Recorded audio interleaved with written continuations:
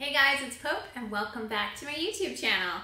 If you are new here, I am a weightlifter that recently had a baby. So core strength has been at the top of my priority list in 2021 with having had a C-section.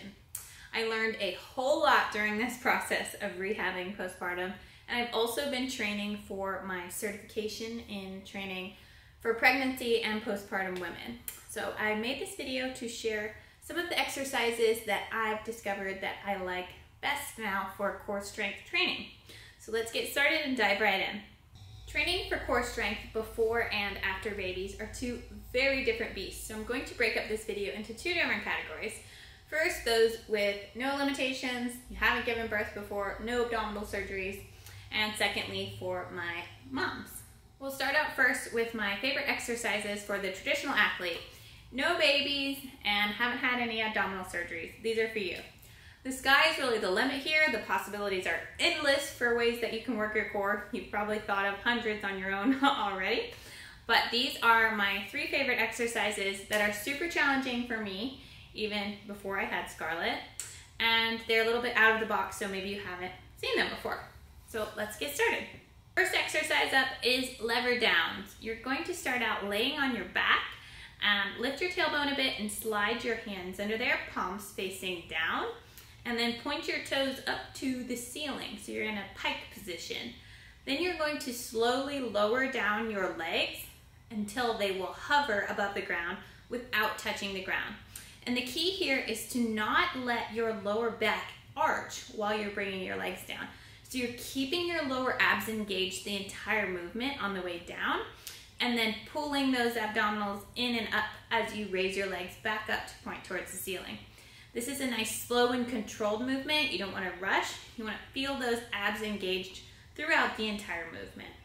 Next up is med ball V-up passes. This is a really challenging one, especially if you have a heavy ball to work with. So you're gonna take the traditional V-up, which most of you have probably seen before, and add a medicine ball into the equation to make it a weighted movement. So you're gonna start with the med ball in your hands, lying on your back with the ball over your head.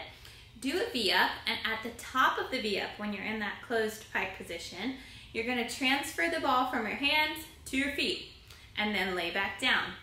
Now you're gonna have to really use those abs to control the movement on the way down to not lose your ball, to not let it go bouncing across the floor. Next movement, you're gonna do the V-up again with the ball between your feet, and you gotta squeeze your legs together to make that happen, which also engages your core.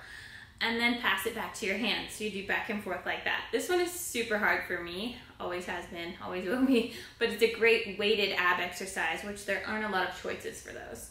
Next up is going to be the walkout. This is a variation of a plank. So you're gonna start standing up with your hands on the ground in a forward fold pike position and walk all the way out past your traditional push-up position plank until your arms are way out in front of you and your ears are covered by your shoulders. So it's like a, a hollow body hold, but instead of laying on the ground, you're hovering in the plank position above the ground. Then you're gonna walk your hands all the way back to touch where your feet are. Now the key on these is to not let your hips rock back and forth and sway side to side. You wanna keep your hip bones straight forward like headlights driving a car, straight pointing to the floor the entire time, not rocking side to side. So you're really going to be working on that core stability on this one. Next category up is for my postpartum gang. Whoop, whoop. These are really great for anyone to incorporate into their routine, but especially great for the moms. If you've had a baby within the last year, have any symptoms of diastasis recti, or any pelvic floor dysfunction, or even if you've had an abdominal surgery not related to childbirth, these are the exercises I have found most helpful and are considered safe to perform while you're still healing from any of those things. As always though, check with your doctor and make sure to get clearance before you do any kind of exercise. The key to postpartum core strengthening is to really focus in on the transverse abdominis. These are your deep core muscles. And these exercises I'm about to show you are really going to get those firing. Let's hit the floor. the first exercise is a dead bug with a dumbbell press. Um, most people are familiar with a dead bug where you lay on your back and you lower the opposite arm and opposite leg at the same time. I learned this one from Mama Stay Fit, which helped me learn so much about postpartum training. And she incorporates the dumbbell press with these, and I think it really helps you activate your uh, transverse abdominis and pull your pelvic floor up as you do this movement, which is great training for transferring over to harder movements when you're standing. So to perform the dead bug with a press, you're going to lay on your back, your arms are going to be straight up towards the ceiling, and you're gonna start with your knees pulled about halfway up towards your chest so your shins are vertical to the ceiling. And then you're going to lower one leg and also bend one arm like a bench press, the opposite arm as leg. And then you're going to bring that leg back into the neutral starting position and do the dumbbell press at the same time as that. So you're getting opposite sides firing at the same time, which is working your oblique slings. And you're also getting that pressing mo movement that's gonna really require a lot of core strength firing that transverse abdominis. I love this movement because it gives you a lot of biofeedback. You can really feel your abs engaging when you're doing that press. One thing to remember with any postpartum exercise, you're going to inhale on the easiest part of the movement and exhale on the harder part. So when you're bringing that leg back to neutral and doing that one-armed bench press, make sure you are breathing out with the movement. This is gonna help take any pressure off of your pelvic floor and really get the uh, pressure regulated in the proper way. Next exercise is a bear position kettlebell pass through. We're going to start on hands and knees like a tabletop position and then lift your knees to hover off the ground a couple of inches. If this is too challenging for you, there will be a scaled version I'll show in just a minute where you can leave your knees on the ground. And you're gonna really dial in those core muscles. Really think about engaging those abs, pulling your stomach up and in. Don't let it hang down. Then you're gonna reach through to where your kettlebell is set up next to you and pull that kettlebell across your body to the other side and then alternate with the other arm. So you're reaching through and pulling the kettlebell to the opposite side. Just like I talked about in the other exercise, the plank walkouts, on this one you don't want to rock your hips side to side. Your hip bones are like headlights and you want both of your headlights facing the floor right now, not rocking back and forth. That's the key to training these stabilizer muscles is to activate during a movement and to stabilize your spine and help regulate the pressure throughout your body when you're performing harder exercises. I really love this one for getting all of those tiny muscles firing.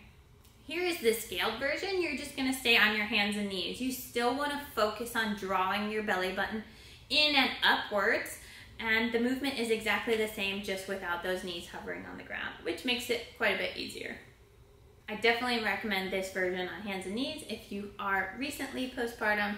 This is a great exercise to do with minimal uh, impact on your pelvic floor.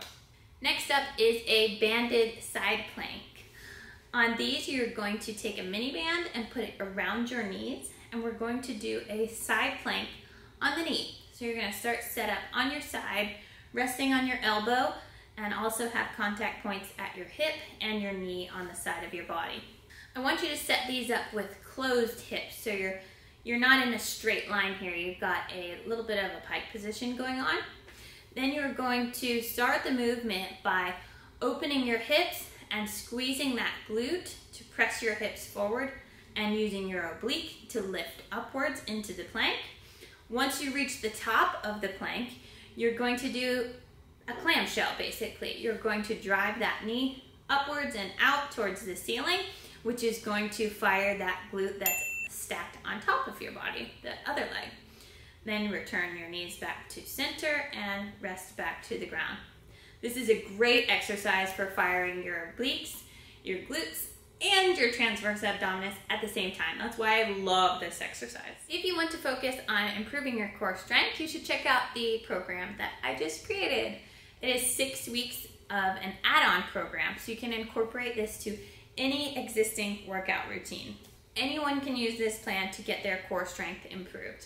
It's a six week plan, like I mentioned. The workouts are about 15 minutes, and you can add it on to whatever workout regimen you're already doing.